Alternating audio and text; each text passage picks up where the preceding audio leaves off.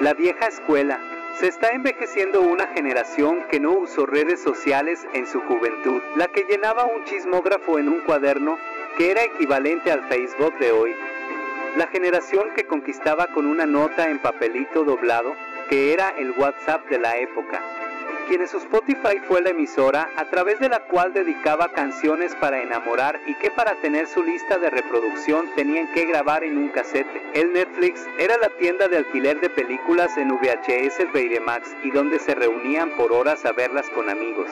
Una generación que escribió poemas y acrósticos en esquelas, regalaba credenciales, peluches, rosas y chocolatinas.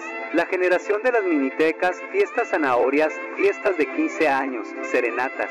Una generación que irradiaba romanticismo en cada gesto y cada acto. Su legado nos recuerda la belleza de las conexiones humanas, la ternura de los detalles y la importancia de cultivar el amor y la amistad en todas las formas posibles. Los jóvenes de hoy en día no comprenden muchas de estas bellas costumbres. Viva la generación de la vieja escuela,